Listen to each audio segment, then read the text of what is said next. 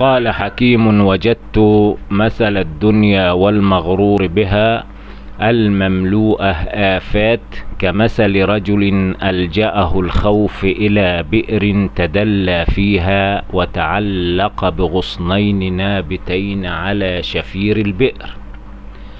ووقعت رجلاه على شيء فمدهما فنظر فإذا بحيات أربع قد أطلعن رؤوسهن من جحورهن.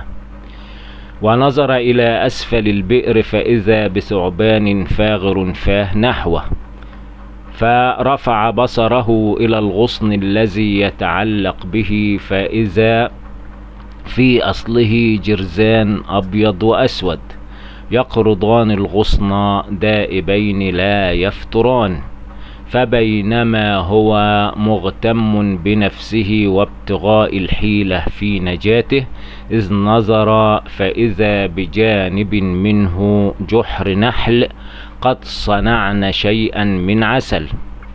فتطاعم منه فوجد حلاوته فشغله أكله عن الفكر في أمره والتماس النجاة لنفسه.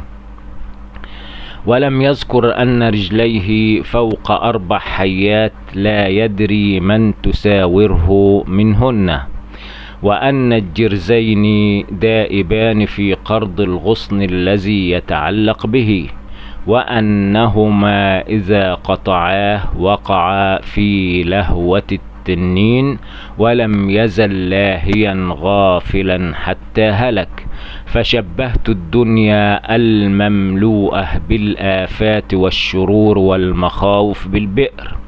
وشبهت الأخلاط التي بني جسد الإنسان عليها بالحيات الأربع.